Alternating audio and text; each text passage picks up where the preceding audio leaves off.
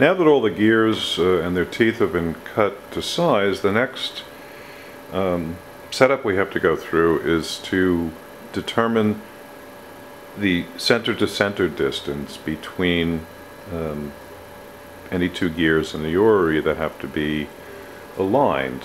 I, um, I have a diagram here that you can take a look at and essentially the way the orrery works is there are um, a stack of gears on a center shaft um, and this um, is the same diameter as the center. It's actually a piece of the center shaft.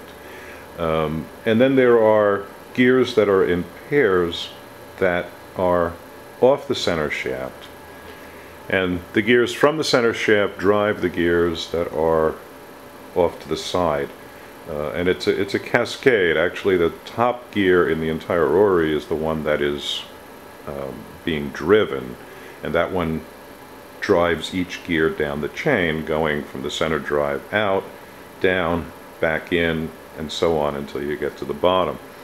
So what I've done here is I have aligned my mill, because I'm going to use the mill actually to do the measuring. But I've I've made a very simple, you know, board here. It's just a piece of MDF, and I've drilled some holes in it. But um, like I said, this is the um, a piece of the center shaft.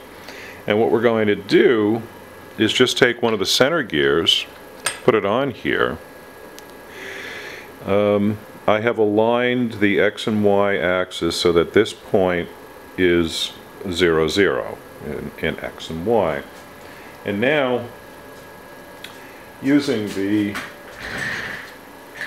using the mill, I am just going to come over, now this gear has to mesh with this one. So I'm just going to um, bring this down.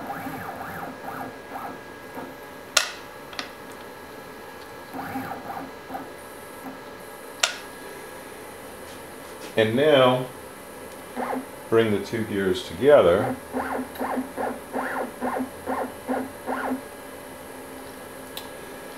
And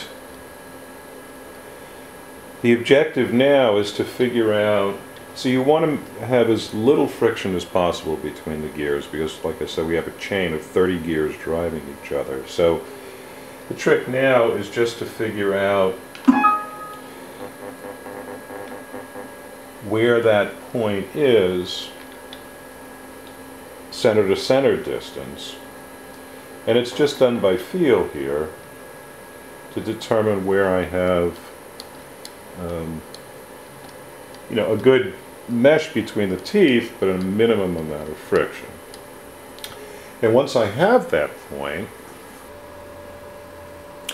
so now if we look up at the uh, at the DRO settings um, from the mill, we can see that X has now moved 1.3906 um, away from the center point. So that actually ends up being the exact distance center to center that these two gears have to now have an arm constructed for that will hold them at that distance. Now I'm going to repeat this process for every gear pair in the in, in, the orrery and then start building arms. Um, but as you can see, I'm using the mill to do the measuring for me, and uh, obviously it's very accurate. This arrangement is much more representative of the, uh, the way the actual orrery works, so I thought I'd let you see what this is about. But um, like I said, there are always going to be two gears on the main shaft that are driving two more gears on uh, one of the offset shafts. They'll be separated by uh, Teflon bearings. So in this setup, um, I've adjusted this such that, if you can see that, um, so that all of the gears are meshing exactly as they would when the orrery is assembled. And um, I mean, this is just a better example of what I was just showing you a moment ago, but um, this is actually how it will look on the orrery. So the distance from here to here, the mill is telling me is 1.413 inches.